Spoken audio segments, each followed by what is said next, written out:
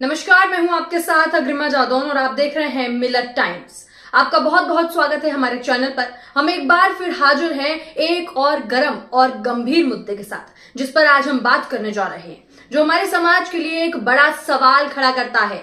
आपको ये तो मालूम ही होगा कि हाल ही में उत्तराखंड में वसीम नाम के एक मुस्लिम युवक की पुलिस कस्टडी में मौत हो गई है। इसके बाद अब एआईएमआईएम के अध्यक्ष असदुद्दीन ओवैसी ने इस घटना पर कड़ा विरोध जताते हुए एक ट्वीट किया है, जिसमें उन्होंने वसीम की मौत पर कई सवाल खड़े किए हैं। ओवैसी ने ट्वीट में लिखा है, गौ तस्करी के नाम पर उत्तराखंड पुलिस ने मुस्लिम नौजवान वसीम को पीट पीट कर तालाब में फेंक दिया और झूठी कहानी बना दी कि वसीम पुलिस को देखकर तालाब में कूद गया। तो फिर वसीम के मुँह और जिस्म पर चोट के निशान कैसे आए? मीडिया में इसका ज़िक्र भी नहीं है। जो ईरान की महिलाओं और बांग्लादेश के हिंदुओं पर घंटों बात कर सकते हैं, उन्हें वसीम की कोई चिंता नहीं। पुलिसकर्मियों पर कत्ल का मुकदमा लगना चाहिए। ये पूरा जो है असदुद्दीन ओवैसी ने ट्वीट किया है और इस ट्वीट के ज़रिए ओवैसी न केवल वसीम की मौत पर सवाल उठा रहे हैं, बल्कि ये भी इशारा किया है कि कैसे मीडिया और समाज एक खास समुदाय के प्रति उदासीनता भरा रवैया अपना रहा है। तो आइए इस पूरे मामले को समझने की कोशिश करते हैं। इसमें पहला सवाल है कि वसीम की मौत कैसे हुई और इसका पूरा मामला क्या है? तो देखिए, ये घटना उत्तराखंड के एक छोटे से गाँव की है, जहाँ पर वसीम को पुलिस ने गौ तस्करी के शक में हिरासत में लिया था। पुलिस का कहना है कि वसीम ने हिरासत से भागने की कोशिश की और भागते भागते एक तालाब में कूद गया, जिसके बाद उसकी मौत भी हो गई। लेकिन वसीम के परिवार और स्थानीय लोगों का कहना है कि पुलिस ने वसीम को बेरहमी से पीटा और उसके बाद तालाब में फेंक दिया। वसीम के परिवार का आरोप है कि पुलिस ने इस पूरी घटना को एक दुर्घटना बताने की कोशिश की और वसीम के खिलाफ झूठे आरोप भी लगाए।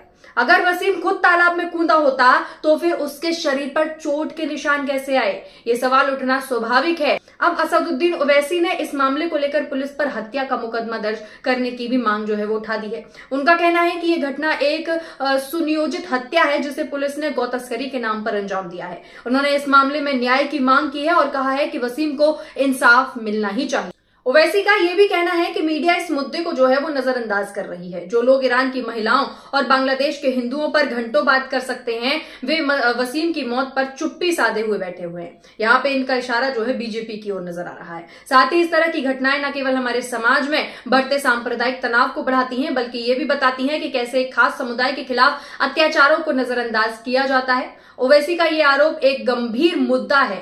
अगर हम मीडिया की भूमिका पर नज़र डालें तो कई बार ऐसा देखा गया है कि कुछ खास घटनाओं को प्रमुखता दी जाती है, जबकि अन्य को नजरअंदाज कर दिया जाता है। वसीम की मौत पर मीडिया में कम कवरेज मिलने का कारण क्या है, ये भी हम आपको बताते हैं। क्या ये सच में एक सांप्रदायिक पक्षपात हो रहा है, जैसा कि ओवैसी कह रहे हैं, या फिर इसके पीछे कुछ और कारण है? यहाँ एक बड़ा सवाल यह भी है कि क्या मीडिया केवल टीआरपी के लिए काम करती है? क्या मीडिया का काम सच्चाई को जनता के सामने लाना नहीं है? अगर वसीम की मौत में पुलिस की कोई गलती है तो क्या ये मीडिया का कर्तव्य नहीं है आ, कि वे इस मुद्दे को प्रमुखता से उठाए? इस पूरे मामले में सबसे महत्वपूर्ण बात यह है कि वसीम को इंसाफ मिलना चाहिए। अगर वसीम की मौत पुलिस की बर्बरता का परिणाम है तो उन पुलिस कर्मियों पर हत्या का मुकदमा दर्ज होना ही चाहिए। किसी भी समाज में कानून से ऊपर कोई नहीं होता, न जात, न धर्म। चाहे वह पुलिस ही क्यों न हो। वसीम के परिवार को न्याय दिलाने के लिए हम इस मामले की निष्पक्ष जाँच कराने की मुहिम चलाते हैं। साथ ही वसीम की मौत पर उठे सवाल केवल एक व्यक्ति की मौत तक सीमित नहीं है। ये घटना हमारे समाज में न्याय और समानता के मुद्दों को भी उजागर करती है। अगर हम ऐसे मामलों को नजरअंदाज करेंगे तो हमारे समाज में कानून का शासन कैसे बचेगा? इस मामले में जो बात और भी चिंताजनक है, वो ये है कि वसीम की मौत को लेकर हो रही कानून प्रतिक्रियाओं में देरी क्यों हो रही है? पुलिस और प्रशासन अधिकारियों द्वारा मामले को बार बार टालने की कोशिश की जा रही है। वसीम के परिवार ने कई बार शिकायत दर्ज कराई, लेकिन अभी तक किसी भी पुलिसकर्मी के खिलाफ कोई भी ठोस कार्यवाही नहीं हुई है। ये बहुत ही ज़्यादा उदासीनता भरा माहौल है। यहाँ तक कि पोस्टमार्टम रिपोर्ट में भी तथ्यों को तोड़ मरोड़ कर पेश करने की बात सामने आई है, जिससे ये साबित होता है कि पूरे मामले को दबाने की बखूबी कोशिश की जा रही है। ऐसे में सवाल ये भी उठता है कि क्या न्याय व्यवस्था भी कहीं ना कहीं इस भेदभाव का शिकार हो रही है? इस घटना के बाद कई संगठनों और सामाजिक कार्यकर्ताओं ने भी आवाज़ उठाई है। उन्होंने उत्तराखंड सरकार और केंद्र सरकार से मांग की है कि वसीम की मौत की स्वतंत्र जाँच जो है वो करवाई जाए और दोषियों को कड़ी से कड़ी सजा दी जाए। इसके अलावा इस घटना ने राष्ट्रीय मानवाधिकार आयोग यानी कि एनएचआरसी का ध्यान भी आकर्षित किया है जिसने उत्तराखंड पुलिस से मामले की विस्तृत रिपोर्ट भी मांगी है। हालाँकि ये देखना बाकी है कि इस दिशा में क्या ठोस कदम उठाए जाते हैं और क्या वसीम के परिवार को न्याय मिल पाता है। ये घटना सिर्फ़ वसीम की मौत तक सीमित नहीं है। जी हाँ दोस्तों,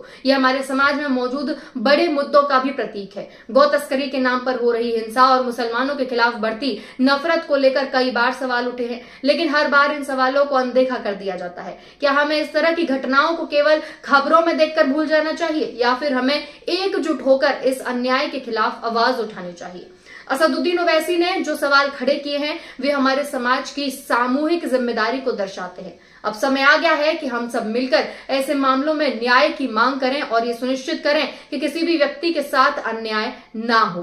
इस मामले से जुड़े कुछ तथ्यों पर गौर किया जाए तो ये स्पष्ट होता है कि गौ तस्करी के आरोपों के तहत मुसलमानों को अक्सर निशाना बनाया जाता है। राष्ट्रीय अपराध रिकॉर्ड ब्यूरो एनसीआरबी के आंकड़ों के अनुसार पिछले कुछ वर्षों में गौ तस्करी के नाम पर हिंसा के मामलों में काफ़ी बढ़ोतरी हुई है। इनमें से अधिकांश घटनाओं में मुस्लिम समुदाय को निशाना बनाया गया है। वसीम की मौत भी इसी पैटर्न का हिस्सा लगती है, जहाँ एक निर्दोष व्यक्ति को आरोपों के आधार पर जान से मार दिया गया।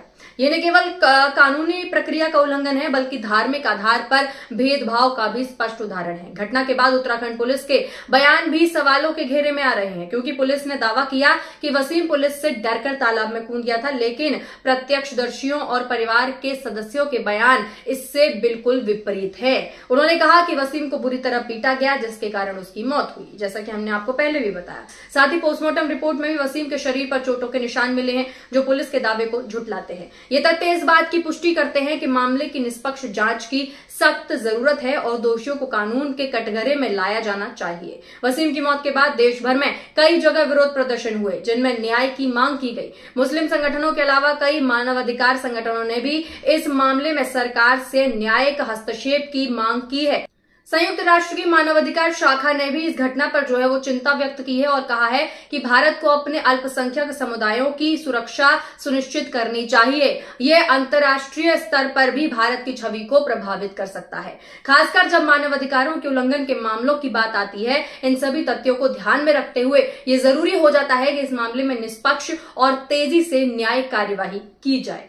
तो दोस्तों, वसीम की मौत का ये मामला न केवल एक व्यक्ति की जान का सवाल है, बल्कि ये हमारे समाज की सामूहिक ज़िम्मेदारी का भी सवाल है। क्या हम सच में एक ऐसे समाज में रहना चाहते हैं जहाँ किसी की जान इतनी सस्ती हो जाए?